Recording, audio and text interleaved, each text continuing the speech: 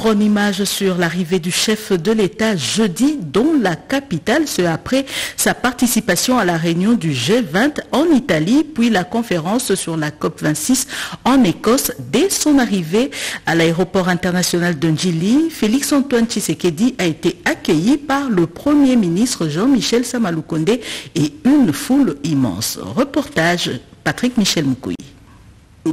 Tel Aviv, développement industriel à Rome et climat à Glasgow.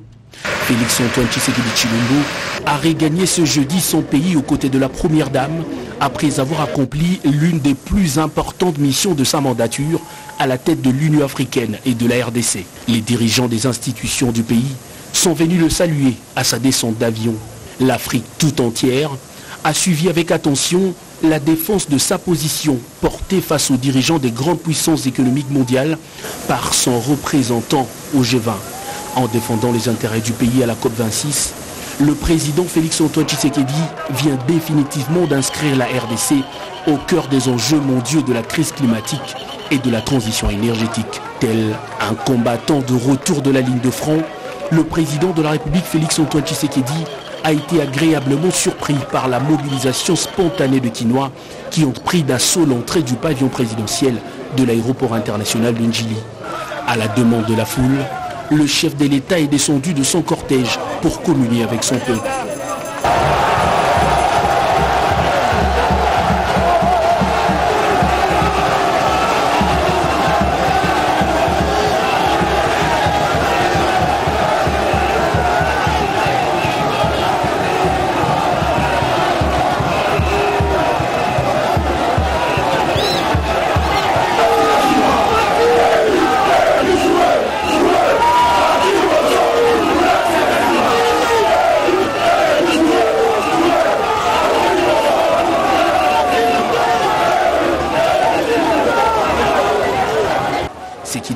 Alors un parcours ordinaire s'est très vite transformé en procession. Le long du trajet, des femmes, hommes et enfants brandissant pour certains les drapeaux de partis politiques de l'Union sacrée de la nation ont manifesté leur attachement aux ambitions et positions du pays défendues au plus haut niveau et avec brio par leurs représentants. Sur un boulevard Lumumba noir de monde, le cortège présidentiel a eu du mal à se frayer un chemin pour atteindre la dixième rue Limété, siège de l'UDPS, le parti berceau de la carrière politique du cinquième président de la RDC. De Lumumba à Sendoué en passant par 30 juin, le cortège du chef de l'État n'a fait qu'à tirer du monde avant d'atteindre la place Quintambo Magasin où une autre foule s'est constituée pour saluer son passage. Des tribunes en tribunes, la République démocratique du Congo conforte chaque jour davantage sa présence sur la scène internationale et améliore un peu plus son image de marque en compatibilité avec son potentiel grâce au leadership de son président, Félix Antoine Tshisekedi Chilombo. Mouvements associatifs, partis politiques et autres rassemblements étaient le jeudi à l'aéroport international de Njili, mais aussi le long du parcours du cortège présidentiel pour accueillir le chef de l'État, au nombre de quels le Palou et la Possem. L'ambiance qui a régné au retour du chef de l'État à travers ce reportage commenté par Cédric Elina.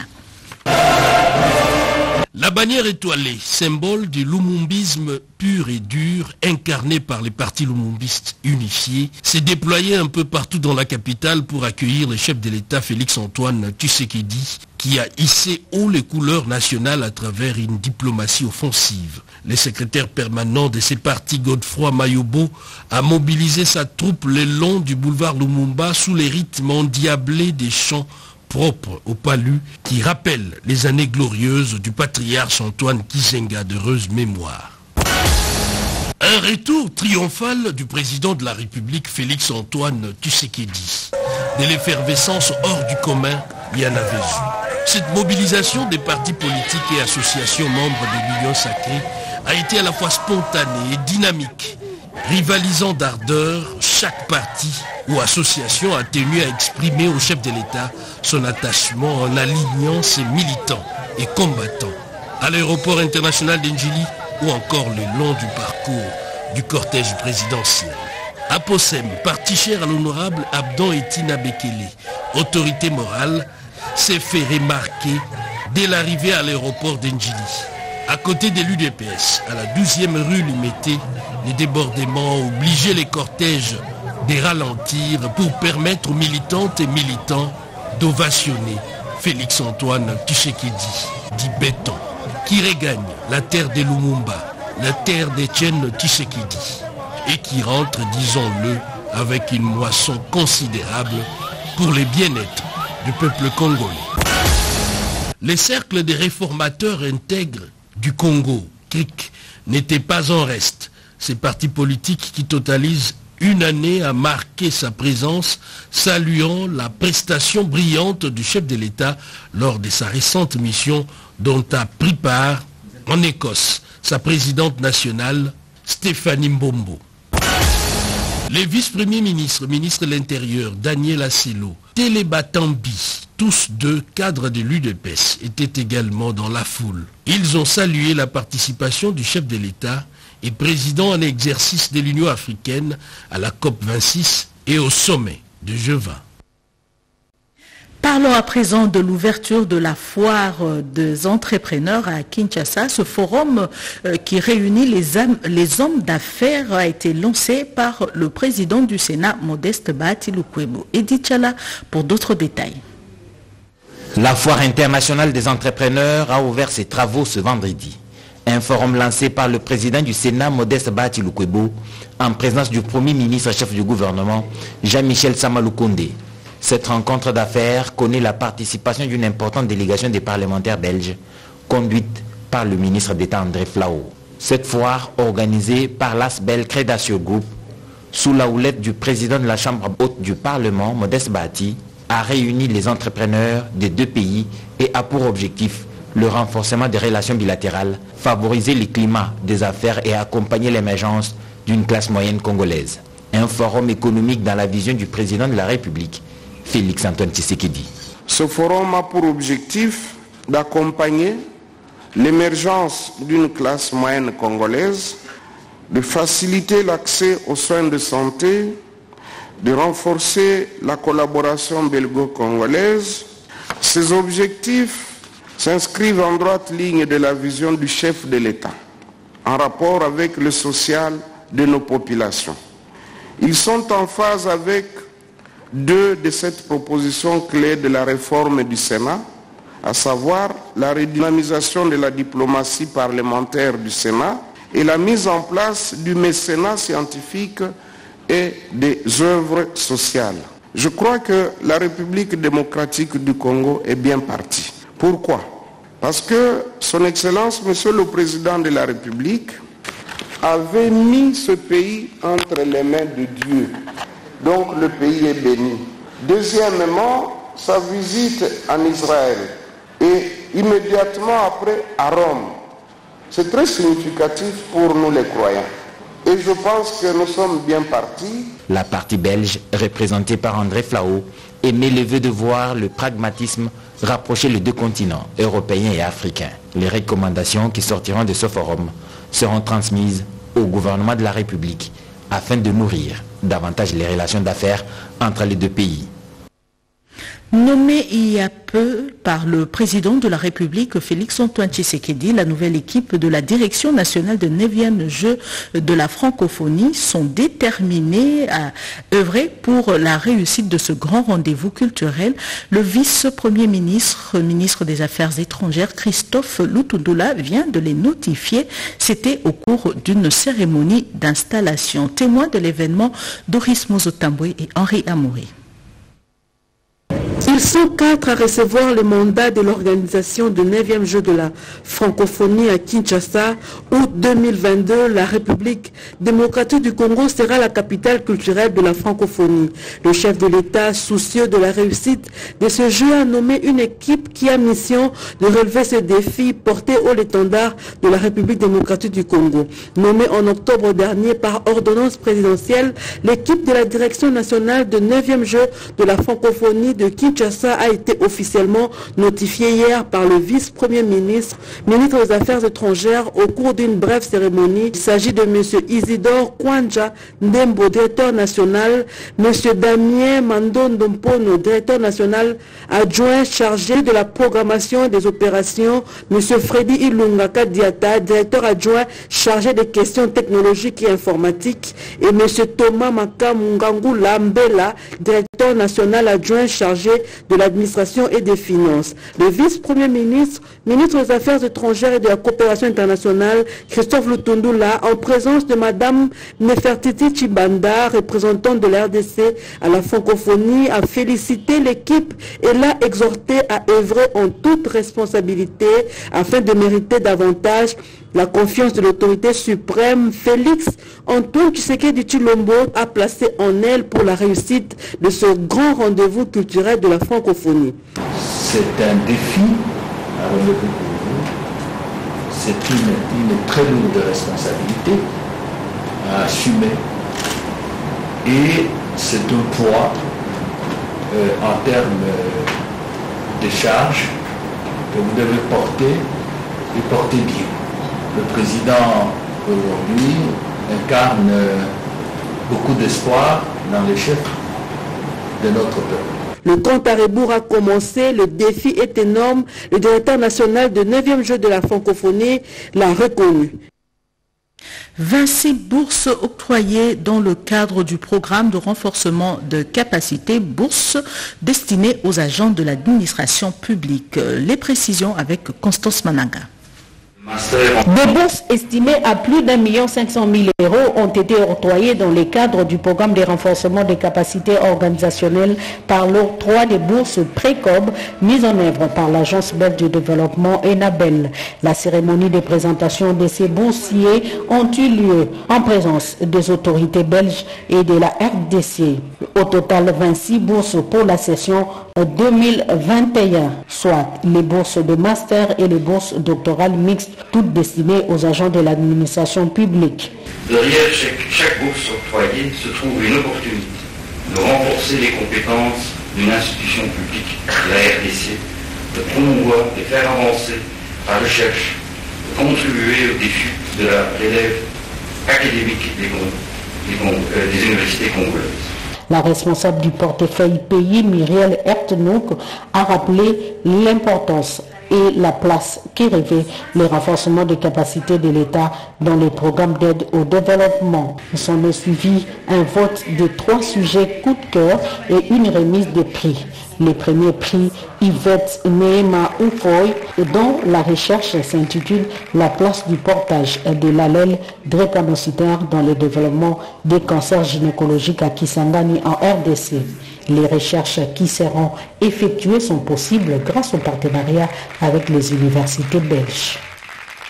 Quelles sont les stratégies mises en place par l'inspection générale des finances pour lutter contre la corruption au sein des institutions publiques une délégation de l'Agence belge de développement venue s'inspirer du modèle congolais a échangé avec l'inspecteur général et chef de service de l'IGF, John Alinghetti, sur la question. Eric Kabamba. Les bons travail abattus par l'inspection générale de finances pour renflouer la caisse de l'État fait écho au-delà des frontières de la République démocratique du Congo. La délégation d'une équipe de haut niveau belge avec à sa tête le représentant résident de l'agence belge de développement Enabel est venu s'inspirer du modèle congolais mis en place par l'IGF dans l'audit et contrôle sur les recettes et dépenses publiques. Séduite par les explications reçues de la part de l'inspecteur général et chef de service Jules Alingueté et son adjoint Victor Batoubenga, cette délégation a proposé un partenariat avec l'IGF sur le contrôle de finances publiques. Nous pouvons collaborer en effet avec euh, le gouvernement du Congo dans le cadre des différentes mesures qui sont prises. Et dans ce contexte-là, il est important pour nous de discuter avec l'inspection générale des finances et de voir en effet quels sont les domaines de collaboration euh, possibles dans le cadre des activités de, de l'institution. Une première réunion qui avait pour objectif la présentation des programmes de l'IGF a souligné le chef de service adjoint de cette institution, Victor Batoubenga. Aujourd'hui, nous nous sommes limités à présenter les actions de l'IGF comment l'IGF est en train de, de travailler jusqu'à présent, quelles sont les stratégies qui ont été mises en place. Et nous nous sommes convenus que la prochaine fois, nous allons nous retrouver pour cette fois-là définir euh, les domaines dans lesquels nous pourrons collaborer avec. Pour le bon rendement de son travail dans l'assainissement de recettes publiques, l'IGF est de plus en plus sollicité grâce à son expertise. Il se tient à Kinshasa la deuxième édition du rendez-vous des affaires incontournable pour le secteur économique. Il s'agit d'une plateforme et d'un cadre d'échange entre les grandes entreprises et les petites et moyennes entreprises. Reportage Serge Mata. Il s'agit d'établir pour cette occasion une véritable collaboration entre les preneurs d'ordre question d'optimiser et créer un partenariat. Ces processus de collaboration d'innovation partagés entre les différents acteurs visent à les impliquer tous dans un projet et les faire également gagner en compétences et compétitivité. C'est dans cette optique que la Fédération des entreprises du Congo et les ministères des petites et moyennes entreprises ont organisé la deuxième édition des rendez-vous d'affaires entre les grandes entreprises et les petites et moyennes entreprises qui constituent un cadre idéal d'échange d'informations sur les besoins des grandes entreprises qui recourent à la sous-traitance et l'offre des biens et services auxquels les PME peuvent répondre, ce qui constitue également les lieux où les petites et moyennes entreprises peuvent faire connaissance entre elles en vue de développer des partenariats d'affaires. Présents à cette rencontre, les représentants du ministre des petites et moyennes entreprises a circonscrit l'événement. Euh, il a été question d'échanger pour euh, promouvoir les discussions entre les grandes entreprises et les petites et moyennes entreprises afin que leur collaboration puisse arriver à faire avancer les secteurs de la sous-traitance. Nous devons arriver à un ruissellement des richesses à partir du sommet jusqu'à la base afin de promouvoir les secteurs et qu'on ait enfin une classe moyenne qui puisse être très visible et contribuer ainsi au développement du pays. À l'issue de ces échanges fructueux, quelques stands installés pour la circonstance ont été visités par les représentants des ministres des PME et autres personnalités invitées des marques. Le ministre de l'économie nationale était hier devant la presse. Jean-Marie Kalouma a donné les détails du concept de juste prix qu'il a initié et son évolution. Edith Chala. Le juste prix est un concept qui a fait rêver les Congolais en un laps de temps parce que très tourné vers le social du peuple. Le ministre de l'économie nationale, Jean-Marie Kalumba Yuma, qui l'a conçu, était en face des chevaliers de la plume.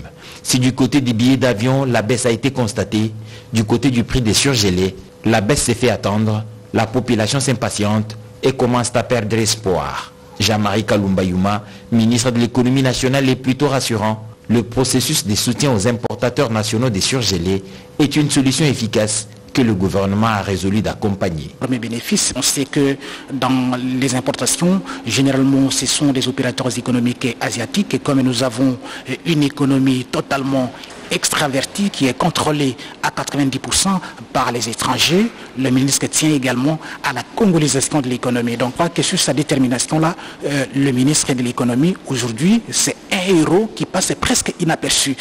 Les professionnels des médias ont aussi été informés des consultations en cours avec les différents intervenants du secteur de la santé pour rationaliser le coût des produits et services de santé en RDC. Étendu sur une superficie de près de 1200 hectares dans le territoire de Luozi, province du Congo central, le projet de la rizière pluviale de Nkundi euh, va répondre substantiellement au social de plusieurs grands centres de consommation.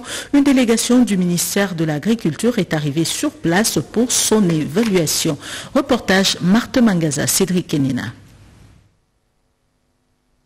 Kundi dans le secteur de Luozi, province du Congo central, héberge un immense projet de riziculture pluviale initié par le ministère de l'Agriculture et pris en charge par la structure technique bio-agrobusiness. En mission à la fois de contrôle et d'évaluation, l'ingénieur Moïse Babo est descendu sur les lieux à la tête d'une équipe du ministère de l'Agriculture, avec une production de 2 tonnes de par hectare.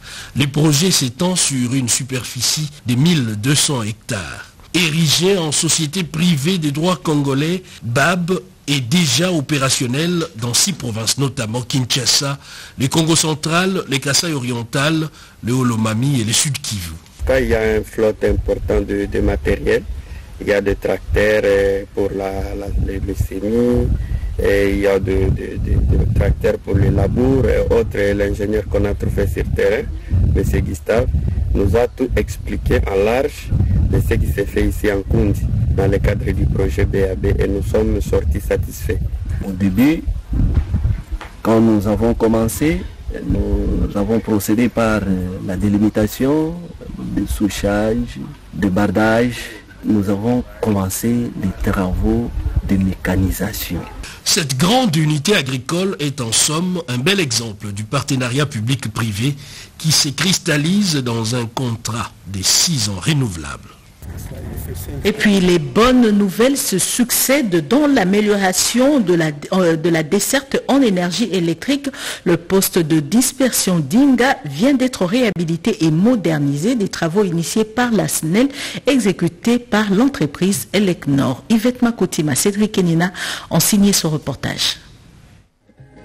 Les postes de dispersion d'Inga, PDI, est un nœud important du réseau interconnecté de la SNEL SA et sert à l'évacuation de toute énergie électrique produite par les centrales d'Inga 1 et 2 vers les provinces du Congo central, de Kinshasa et du Lualaba à travers les lignes de transport de l'énergie électrique. Ce poste essentiel est complètement réhabilité et modernisé. Des travaux qui ont consisté, il faut le dire, au remplacement de tous les équipements électromécaniques la modernisation du système de contrôle, commande et protection, aussi la construction d'un nouveau bâtiment de commande de déniveau. Maintenant, nous avons un poste totalement rénové, totalement modernisé. Donc euh, les pannes vont presque disparaître. Nous aurons moins d'impact de, déclenchements généraux qui dureront longtemps. Donc chaque fois qu'il y a un problème, le temps d'intervention sera fortement raccourci. La réhabilitation du PDI a permis la fiabilisation et la sécurisation des équipements grâce au financement de l'Allemagne à travers la banque KfW exécutée par les contractants Elecnor. Ce poste de dispersion, c'est quelque chose de très technique. J'ai appris euh, aujourd'hui euh, que ça sert euh, à l'efficacité, à l'efficience à la fiabilité de l'approvisionnement d'énergie, aussi à la sécurité écologique. Ce poste permettra à ce que, en dehors du fait que ça augmente la capacité de la SNEL, de l'électricité, mais encore de l'eau. Parce que la régie des eaux, pour faire tourner ces usines de traitement d'eau, a besoin de l'électricité. Ce poste a été mis en service entre 1972 et 1982. Ces installations étaient devenues vétustes, d'où la nécessité de sa rénovation afin de rendre fiable l'alimentation en énergie électrique des centres de consommation desservis à partir des centrales d'Inga. L'intersyndicale nationale de l'administration publique était en assemblée générale avec tous les 600 délégués syndicalistes dans la salle Fatima à Gombe. Le président de l'INAF, euh, Fidel Kiyangi, a fait la restitution des conclusions des négociations entre le gouvernement et le banc syndical des fonctionnaires euh, de l'État. Parmi les retombées de ces négociations, il y a l'engagement du gouvernement d'augmenter l'enveloppe salariale des agents et fonctionnaire de l'État. Rodépanda.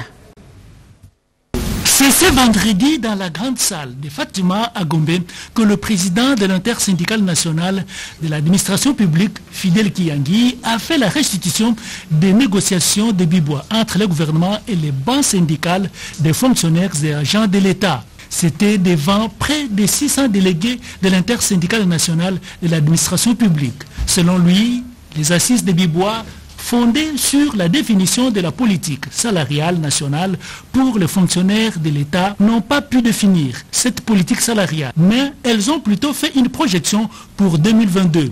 Le président de l'INAP, Fidel Kiyangi, remercie aussi les chefs de l'État pour l'organisation de ces travaux, du reste marqués par la présence du Premier ministre aux côtés des fonctionnaires bénéficiaires de cette politique. Les acquis de ces assises avec le président de l'INAP.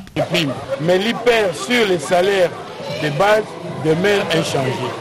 c'est-à-dire 2500 pour les exécutants et 4000 pour les cadres. Pour les autres aspects de l'administration, notamment la mise à la retraite, la titularisation, le paiement des NP, la réintégration des révoqués de 2009-2010 et tout ce que vous savez faire que l'administration puisse bien avancer, nous allons nous retrouver au mois de juin pour évaluer. Les délégués syndicaux ont accepté les travaux, ils ont promis de se l'approprier. En signe de bonne volonté, le gouvernement a accepté d'organiser une séance annuelle d'évaluation de la commission paritaire au mois de juin de chaque année. Solliciter du gouvernement l'augmentation de l'effectif de l'armée dans les provinces sous l'état de siège, alerter sur les risques d'exclusion du Nord Kivu et l'Itourie dans les échéances électorales. Ce sont quelques préoccupations de la COFEDEC, Convention des fédéralistes pour la démocratie chrétienne, au terme de sa mission au Nord Kivu. Reportage commenté par Fifi Mukundi. La Convention des fédéralistes pour la démocratie chrétienne lève la voix après la onzième prorogation de l'état de siège dans les tours et au Nord Kivu au Parlement. Cette deuxième force politique du Nord Kivu croit fermement que la population ne s'implique suffisamment pas à l'œuvre. Elle propose quelques pistes de solutions pour aboutir aux résultats escomptés. La COFEDEC recommande ce qui suit doter les forces armées de la République et la police nationale congolaise d'une logistique conséquente, limiter les tâches de l'armée aux seules opérations militaires visant à endiguer les menaces graves contre l'intégrité du territoire national et qui affectent le fonctionnement régulier des institutions. Les participants à cette réunion extraordinaire de la COFEDEC ont aussi analysé les questions relatives au processus électoral. La COFEDEC attire l'attention des acteurs politiques sur le risque éventuel d'exclusion des provinces du Nord Kivu et de l'Ituri du processus électoral en cours ou à la suite de l'état de siège. Les mouvements sont restreints et des activités des partis politiques limités. Selon eux, la restauration de la paix dans l'Est du pays constitue la seule condition sine qua non pour l'organisation des échéances électorales sur toute l'étendue du territoire national à la même date, jour, mois et année. En charge des questions politiques et administratives a reçu pour mission une tournée d'inspection dans les différentes fédérations du parti dans la province de la Chopo, Ituri et Nord Kivu, mais aussi palper les réalités de l'état de siège décrété dans ces provinces. Reportage Rodépanda. Le secrétaire général adjoint chargé de la politique et de l'administration au sein de l'UDPS a été en tournée d'inspection depuis le 18 octobre 2021 dans quelques provinces dans l'est du pays. Il s'agit notamment de la Chopo, de l'Ituri et du Nord Kivu.